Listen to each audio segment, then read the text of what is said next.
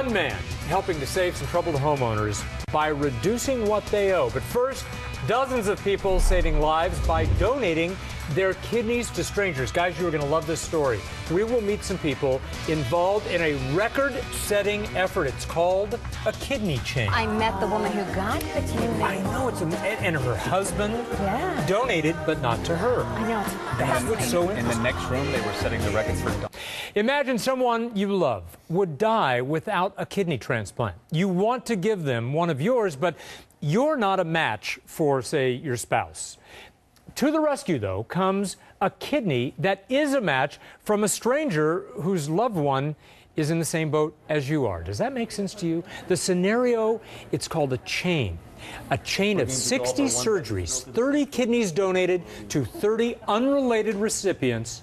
It happened in December, and it involved hospitals and patients all over the country 17 hospitals, 11 states. It was the world's largest kidney transplant chain. 16 of the 60 patients involved had their surgery performed right here in Southern California, UCLA Ronald Reagan or Ronald Reagan UCLA Medical Center. And so joining me now, and these are just great people to have with us, from UCLA Medical Center, transplant surgeon Dr.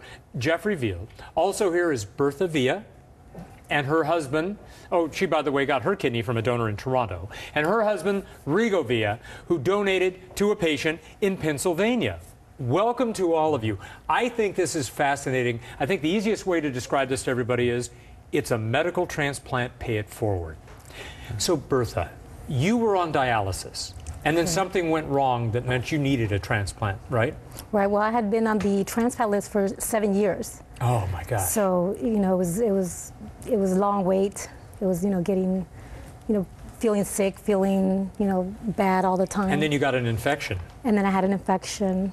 So And then Rigo says, I want to do something. I want to trans I want to give my kidney to someone. Rigo, how did you hear about this idea of the chain and if you gave your kidney to someone else, it would help Uh, it was Bertha? through this uh, social worker from uh, UCLA, Suzanne. She told us about the tran um, switch, a swap through, you know, because he initially wanted to tran you know give me the kidney, but we were not a match. Wouldn't weren't a match. So and you didn't want him to do it though.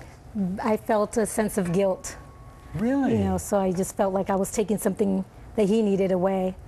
And so once they explained though the you know the process, and I knew he was you know he really wanted to do this, then All right, Dr. Jeff. Dr. Jeffrey Veale, how does Rigo giving a kidney to someone else, and in that case, moving it all down the chain, help Bertha? Because normally when you talk about organ transplants, they're very, very stingy about that. They're very careful about, you know, your first in line, second in line, third in line.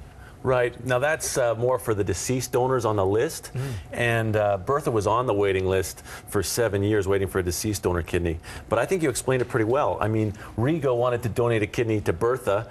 Bertha didn't match Rigo or was incompatible with Rigo. Mm-hmm. So if he, she would have got Rigo's kidney, she would have rejected it. So what happened is that a stranger gave Bertha the kidney, and then Rigo goes, "Hey, my wife just received a kidney. I want to pay it forward or pass on the generosity." So Rigo gives his kidney to someone in Pittsburgh. Whose idea was this? Uh, it's a guy by the name of Michael Rees in the University of Toledo, and um, he came up with aren't the you idea. surgeons pretty stingy with your organs? I mean, you like to keep them at UCLA if you can, right? Yeah, but we've tried to get people. We think it's more important for the you know the good of uh, get people off the waiting list. So we often ship our kidneys to San Francisco, San Diego, whatever, because eventually the chain comes back around.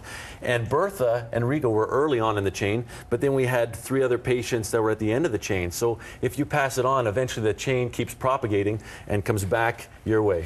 So- Amazing. And what would you two say to others who are in need of kidneys or organ transplants where a chain would work? I think it's an amazing concept, and you know, we, we really would like people to look into it and learn, educate themselves, especially in a lot of the like Latino community, hmm. you know, other communities that really are not aware of the situation. Maybe you can be a part of that. So I, I think I will think about that. You're certainly healthy looking enough now to just to, to go out and be the spokesperson. It's great. It's great to see you oh, both. thank you. And you look terrific. Looks like you did a good job. I try. All right, Dr. Jeffrey Veale, Bertha, and Rigo Villa, thank you very much Thank for you. being Thank here. Thank you for having us. Coming up next.